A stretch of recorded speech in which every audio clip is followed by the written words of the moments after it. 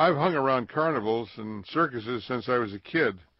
One of the great thrills of my life was running down the railroad station when Ringling Brothers, Barnum and Bailey combined shows showed up with a, a thousand animals, giraffes, lions, and what have you, and helping raise the tents and hanging around these strange places. And when I was around 14, I went down to the beach here in Los Angeles, and they had a big pier there with all sorts of attractions, freaks, and sideshows, and what have you. And I saw this exhibit with a big question mark over the entrance. Well, in those days, we didn't know much about life. We weren't told about birth. We we believed in the stork, which is kind of fantastic now, this late in time. And I went into the exhibit, and they had a whole series of jars there with very peculiar things in them. I didn't know what in heck they were, and they had no labels on any of these things. And I had to try to figure out that maybe, just maybe, I was looking at the embryos of some unborn babies, huh? And I went into shock. No one had told me about these things. And I went out and brooded over this. I couldn't ask my mother and father. They wouldn't tell me anyway. Huh? Not in those days. Not in 1934. And when I was around 23 years old, I remembered the, the jars, huh? And all kinds of things I began to put into this imaginary jar. And next thing you know, I finished this short story, and you're going to hear it next, a very peculiar story about the contents of the jar.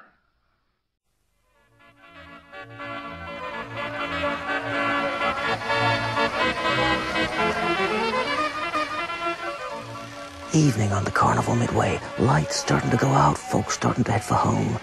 A few last thrills, a few last laughs. Roll up, roll up, and ride the carousel. Test your strength. Few last hopes, a few last fears. Step right up, folks. Come and see the freaks. Skeleton, pinhead, dwarf, and bearded lady. Wonder as the great Vesuvio eats fire and drinks lava. Be amazed as Mr. Electricum survives a charge of 100,000 volts. Baffle your senses in the Egyptian mermaids and see, lose, and find yourself 10,000 times. And here he comes. Every night the same, wandering down the dusty midway like he's lost, till he comes to this tent. Hi there. How you doing? Okay. Come to look at the jar again? Uh-huh. Guess so. Well, pay your dime and you can walk right on in and look your fill. No one left but you to look. Every night, regular as clockwork, coming back to stare at that damn jar. This way. Right this way. There. the jar. It's one of those things kept in a jar in the tent of a sideshow on the outskirts of any little drowsy town.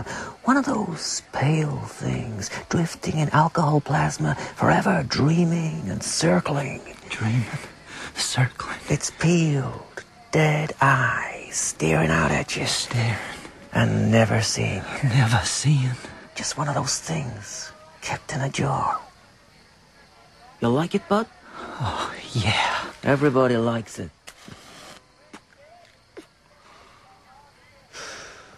In a peculiar kind of way, I mean.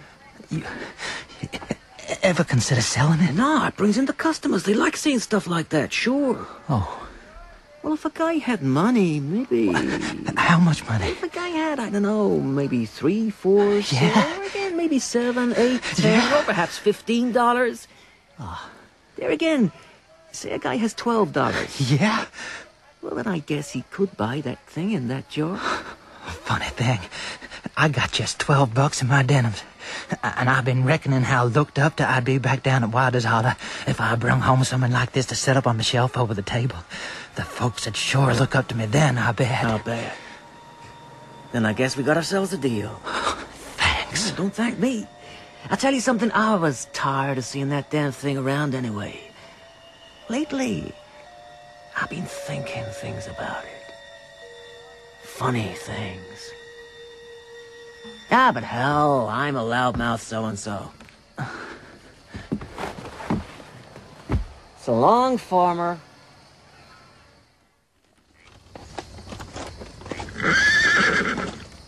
You okay back there in the wagon? sloshing around and looking out, cold and gray and wet. Yes, sir. This'll make 'em look up to me, all right. Wait till those guys sitting outside the general store see this.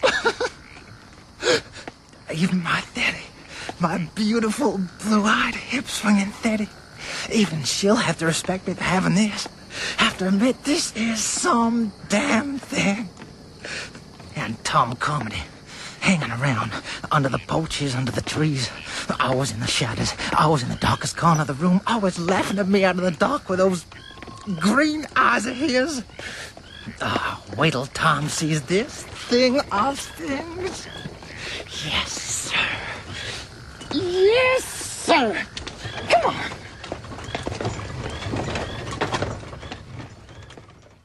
Arsena says it ain't none of your damn business what I believe or don't believe. He looks at me with a face like doomsday, turns his back, and is gone. Hi, Clem! Gramps! Duke! Hello, oh, Charlie. What'll your rule say about you speaking to a person like that? Hey, Ain't gonna I got something here. practice. I got something you might want to see. You ain't got nothing we wants to see, baby doll. Hush up, Tom Carmody. What you got, Charlie? Something in a jar. What? Looks kind of like a brain. Kind of like a, a pickled jellyfish. Kind of like. Well, come see yourself.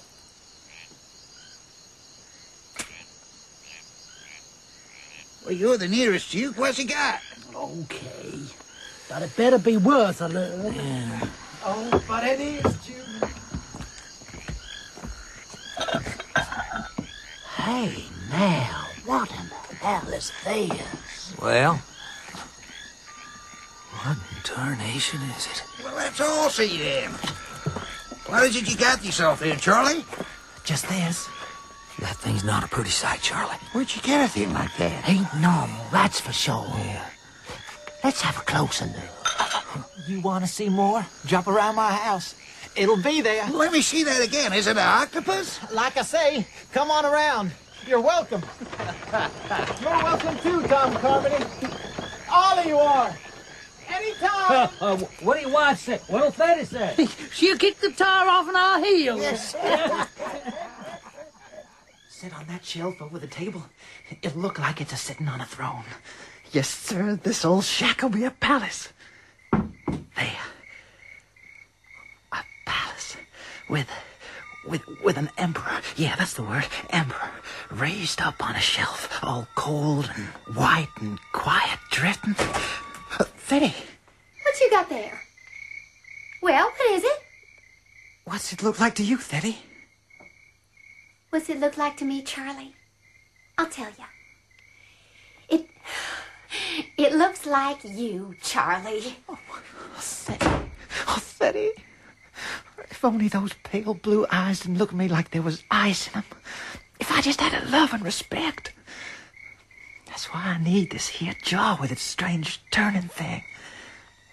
I thought maybe she'd show me respect when she saw you turning and a drifting. Just what are you in there? What do you know? What do you understand, pale thing in your floating world? I work the bottom land to the butt bone every year, and she grabs the money and runs off down home visiting her folks nine weeks at a stretch. I just can't keep hold of her.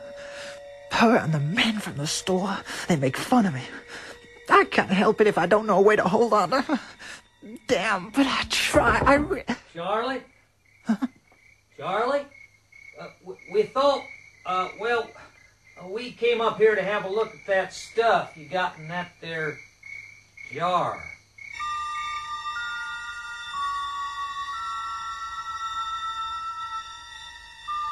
July gone, August gone, and still they come.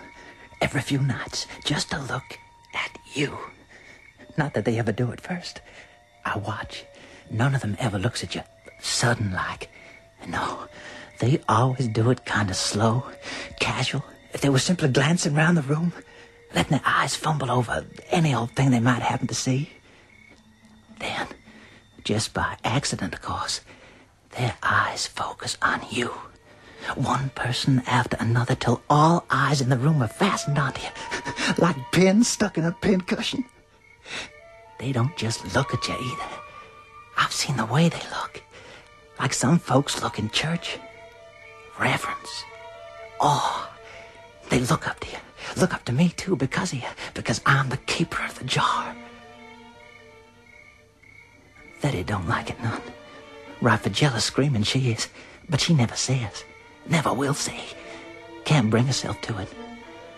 Still, first time in years I feel happy. Real happy. Like tall corn growing after a drought.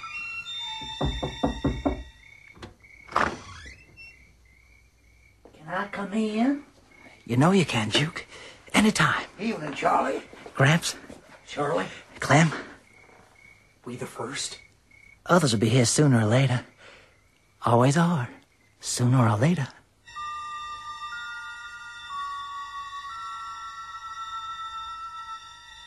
First off, no one says nothing. They just sits there thinking. Then someone always breaks the silence. Someone always leans forward, clears his throat, wets his lips. Wonder what it is. Gramps Medknowe from Creek Road, Whose scarce ever gave me the time of day before I had the jar. I wonder. Now the time's come for talking. Ears are primed and folks settle like sows in the warm mud after rain. Wonder if it's a he or a she or just plain old it. Sometimes I wake up nights, twist on my corn mat, and think about that jar just sitting here in the long dark. Think about it hanging in liquid, peaceful and pale like an animal oyster. Sometimes I wake Granny and we both think on it. That's right. We both lay there thinking. And we shivers. Yeah? Maybe a hot night, trees sweating, skeeters too hot to fly, but we shivers just the same. And turn over trying to sleep. I try not to think about Charlie's jaw, not at night time, not any time. It don't bear thinking about. Maybe not, Mrs. Trittenman, but I bet you still wonder what it is. Well, there are so many sad things in the world, and Lord knows I've seen my share. So when it comes to wondering about that jaw, well, I do and I don't, if you take my meaning. I know I do. I wonders a lot about that jar. I surely do. Well, that's 'cause you're a wandering kind of soul, Jahdoo. Spiritual like. As for me, I, I ain't got time for no spirits. Unless they come in a different kind of jar. That there one on Charlie's shelf. but still, e- e- even I gotta admit that it bugs me. Well, like Gramps says, you can't help but wonder what it is. Well, what about you, Thedy? You ain't said nothing. You don't ever say nothing about the jar. Well, that's true, Granny. But that's just because I listen to all of you and to Charlie. After all, it's Charlie's jar. She's laughing at me, but I don't care. I just sit here rocking and watching, looking at them all looking at that precious thing, that jar. Do you know what it reminds me of? Oh. Duke Marmer from Willisump, wiping sweat off his palms on the rounds of his knees. I remember when I was a running those kids. We had a cat that was all the time making kittens. I hope this ain't gonna be no sad tale, Juke. Shush, woman. You play on, Duke. Well, that cat, Lord Almighty, she'd have lit it any time she jumped around, skipped a fence. I've known some women like that. Yeah, your tongue, old man. Anyway, we give the kittens away, but when this one particular litter busted out, everybody within walking distance had one or two of our cats by gift already. So What did you do, Duke? Ma busied on the back porch with a big two-gallon glass jar, filling it to the top with water. Then Ma said, Juke, you drown them kittens. I don't want to hear no tales about drowning babies. Mustn't interrupt the story now, Miss Tit. I remember I stood there. The kittens mewed, running around blind, small, helpless, and funny. Just beginning to get their eyes open. I looked at Ma and said, Not me, Ma, you do it.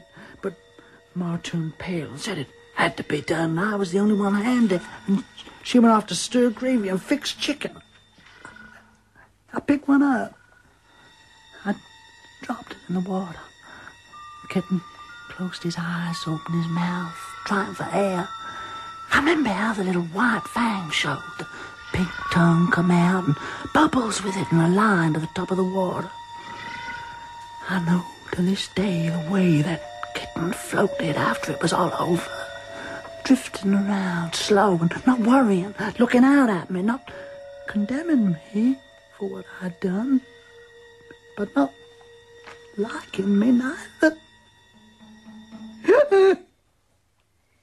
It was a sad story. I could tell it was gonna be.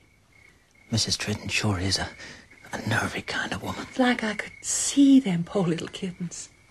Someone else will speak soon. Tell what they see. You know what it is? Why? Do you know then? Yes, sir, I know what it is, all right. Yes, sir. Jahdoo, the black man from Heron Swamp, tossing his ivory eyeballs, nodding and flexing his dark knuckles, grasshoppers alive. That be the center of life, sure enough. Lord, believe me, it's so. From that lying back in the middle bamboo sump, all sort of thing crawled. It put out hand, it put out feet, it put out tongue and horn, and it grow. Little bitty amoeba, perhaps.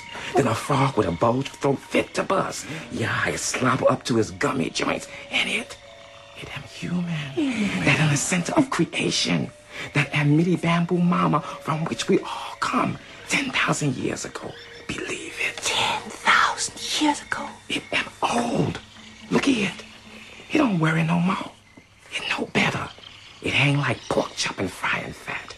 It got eye to see with, but it don't blink 'em. They don't look Freddy Tuesday. No, man. It know better. It know that we come from it, and we is going back to it. Amen. What do you say, Charlie? What do you say, Charlie? What do I say? That's what the jar's done for me. Respect. First time ever in my life, people wanted to know what Charlie thinks. Well, Charlie, what do you say? I say, what if some young kid went running off into the swamp and got itself lost in all that, wet and wild, and tried hard as he could to find his way back, but never did so till it was too late and they finds him all slithery and slimy, and nothing but skin and bone and eyes what keep staring and never seeing, drifting round in water like one of them jellyfishes, and someone scoops it all up and puts in there, in that jar. For all we know, this might be some darn kid we know. Some kid has once threw rocks at our screen doors or climbed trees in our backyard. For all we know. Lots of little kids run stark naked to the swamp every year. They runs around and never comes back. I almost got lost myself. I, I lost my little boy Foley that way. You, you don't suppose my baby, my baby Foley, my Foley, Foley, is that you, Foley? Foley, tell me, baby, is that you? Ah. It moved. That thing in the jar moved. No, it didn't move. Just your eyes playing tricks. Bamboo mama shifting in the sump. I saw it too. Foley, Foley. Honest to God, I saw it shift slow, like a dead kitten. Why don't you hush up now? I only say what I saw. Hey, me, I saw it move, I tell you. Whatever's in that jar's been dead a long, long time. Maybe before any of us was born. There was a sign. He made a sign. That's my Foley, my baby got there. Three year old he was. My baby lost and gone in the swamp. Now, now, Miss Trim. There oh. now. Set yourself down. Stop shaking. Ain't no more your child than mine. There, there. All this talking and shoving words. Like as not, we'll never find out, never, what it is. Like as not, if we found out, we wouldn't want to know. It's like magic tricks magicians do. It shows once you find the fake, ain't no more fun than the innards of a possum. Ain't a possum. I've killed possum, skinned and gutted them many times. Ain't possum. I didn't say it was, you fool. Well. What I mean is, we all come collecting round here every ten nights or so, talking, social life with something, always something to talk about. Stands to reason if we spied out what the damn thing is, there'd be nothing to chew about, so there. Well, damn it to hell. I don't think it's nothing. What do you say, Tom Carmody? Out on the porch, standing in the shadows, as always, Tom Carmody. Just see his eyes staring in. Just see his lips laughing, mocking the jaw, mocking me. I said that that jar ain't nothing. His laughter getting inside of me like a hornet's sting. Daddy put him up to this. Teddy trying to kill my new life. There ain't nothing in that jar but a bunch of old jellyfish from Sea Cove, a rotten and stinking fit to whelp. You mightn't be jealous, Cousin Carmody. I just come around to watch you dumb fools jar about nothing. You notice I never set foot inside or take part? Ah, I'm going home right now. Anybody want to come along with me? No one. Very well then. I bid you all good night. Like, like I was saying before the storm, that there thing on the shelf, why couldn't it be sort of, well, all things, lots of things, all kinds of life? Death. I don't know. There goes Teddy, slipping away into the night, slipping away after him. That Tom Carmody. They're up to something, those two. They're planning something sure enough. Mix rain and sun and muck and jelly, all that together. Grass and snakes and children and mist and all the nights and days in the dead cane brake. Why does it have to be one thing? Maybe it's lots. You okay, Charlie?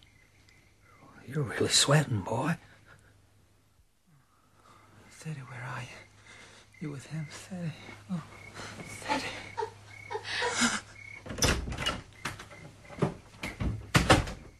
Charlie? I'm awake. Charlie? What?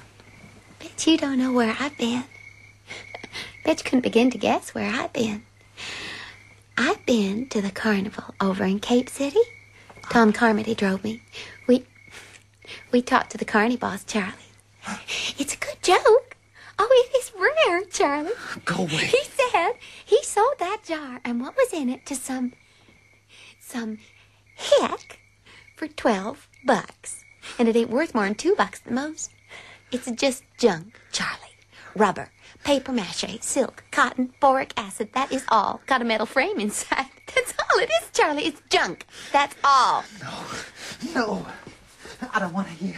I don't want to hear. I don't want to oh, hear. Wait till everyone hears how fake it is. Won't they laugh? Won't they flap their lungs? You ain't gonna tell oh, him. Let go of me. Tell me you ain't, Daddy. Tell me you ain't gonna tell him. I oh, wouldn't want me known as a liar, would you, Charlie? Don't why can't you leave me alone? You dirty, dirty Jasmine. Everything I do, I took shine off your nose when I brung the jar home. You didn't sleep right till you ruined things. I won't tell anybody. You spoiled my fun. That's all that counted. It don't matter if you tell the rest. I know. And I'll never have no more fun. You and that Tom Carmody. I wish I could stop him laughing. He's been laughing for years at me. Well, you just go and tell the rest. The other people now. Might as well have your fun. What you gonna do? Smash the jar? Why do you care if I smash it right here now and spit out all the junk all over the floor? Why do you care? But I shan't. Long, good evenings, rich evenings, friends, talk, they're all in this jar. Lose this, the world's gone. Rather lose me? Lost you already. Lost you long ago, Teddy. Once reckoned the time of my living from the pendulum swing of your hips. Now, other men. Tom Carmody for one. I reckon in time that way. Don't you want to prove me wrong?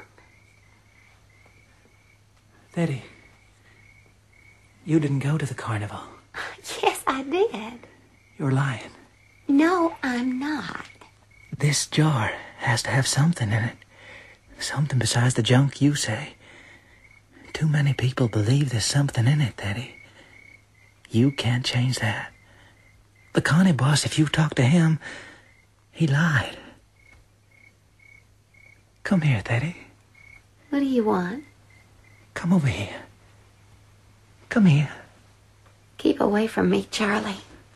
Just want to show you something, Teddy. Here, kitty. Here, kitty, kitty, kitty. Here, kitty.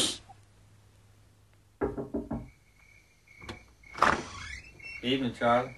Clem? On your own tonight, Charlie? Yeah. Thedy gone off again to visit her folks? Yeah, she run for Tennessee. Be back in a couple of weeks. She's the darndest one for running. You know Thedy. Great one for jumping around, that woman. Yeah. Folks can jump around all they like. That there thing in the jar, though, that don't ever change. Just turning, drifting. Why? I never noticed so definite before. It's got blue eyes. It always had blue eyes. It did. The eyes was blue. Blue as blue. No, no, they wasn't. They was brown last time I was here. Eh, And another thing, it's got black hair. Didn't have black hair before. Yes, yes, it did. No, no, it didn't. Gramps is right. The hair's gray. Is that Tom Carmody out there? Why don't you come on in, Tom? What do you say, Tom? Were the eyes brown or blue? Or don't you know? What do you see in the jar, Tom? I guess everyone sees what they wants to see. Everything and anything. The night, the swamp, death, the pale things, the wet things from the sea. I see Foley, my baby, my little baby. It's a brain, most likely. Uh, octopus, jellyfish and stuff. Or something would die. Unnatural. Died before its time. Or never was alive, the way we mean. Was and is Mitty Bamboo Mama. Or just a little kitten. Here, kitty, kitty, kitty.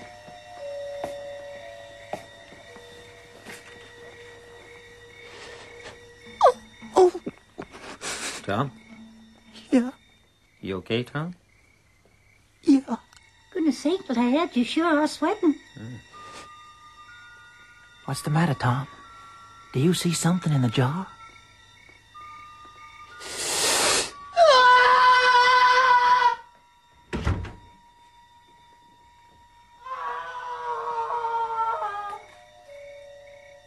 Not, Tom. You know, I wonder. Wonder if it's a he or a she or just a plain old it. What do you say, Charlie? I reckon we'll never know. Yeah, I reckon we won't.